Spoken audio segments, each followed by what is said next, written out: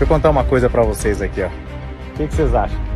Essa árvore aqui, ela foi plantada junto com outra que foi plantada nesse vaso. Só que esse vaso aqui rolou, não tinha essa proteção e aí ele caiu aqui, ó. Caiu aqui.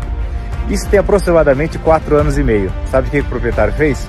Bom, não ia mais colocá-la no vaso. Colocou ela aqui na frente da casa.